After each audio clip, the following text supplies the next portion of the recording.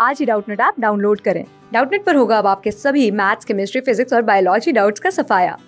बस अपने क्वेश्चन की फ़ोटो खींचो, उसे क्रॉप करो और तुरंत वीडियो सोल्यूशन पाओ। Download now.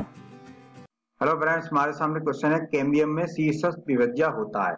तो देखिए, ये कथन असत्य है। अब ये असत्य क्यों है? अभी बताते हैं क्यों है असत्य। ये कथन क्या है? ये कथन असत्य है। देखिए, तीन विभज्या का मतलब होता है विभज्योतक, ऊतक या जिनमें विभाजन हो या विभाजन की क्षमता पाई जाए। इनमें क्या होता है? विभाजन होता है। जो विभज्या, ऊतक होते हैं या विभज्योतक होते हैं, उनमें विभाजन होता है। अब देखिए क्वेश्चन में बोला है, केम्बियम में सीसस विभज्या होता है तो ये कथन गलत है। क्यों है कथन कथन गलत? तो देखिए, अगर हम बात करें केम्बियम की तो ये जो केम्बियम होते हैं ये जो है कि पार्श विभज्योतक होते हैं। कौन से होते हैं? पार्श विभज्या या पार्श विभज्योतक ये जो है कि कैम्बियम होते हैं, ये पादप की पार्श्व स्थिति में पाए जाते हैं। कहाँ पर पाए जाते हैं? पादप की पार्श्व स्थिति पर।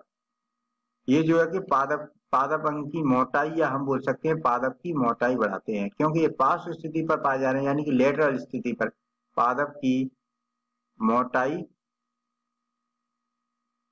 पादप की मोटाई बढ़ाते हैं।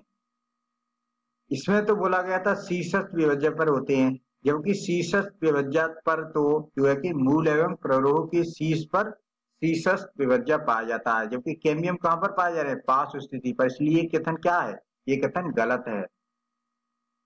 हमारे क्वेश्चन का यही आंसर है। धन्यवाद।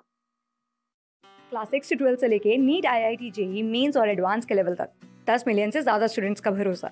आज ही डाउनलोड करें डाउट नेट आप या व्हाट्सअप कीजिए अपने डाउट्स आठ चार सौ चार सौ चार सौ पर।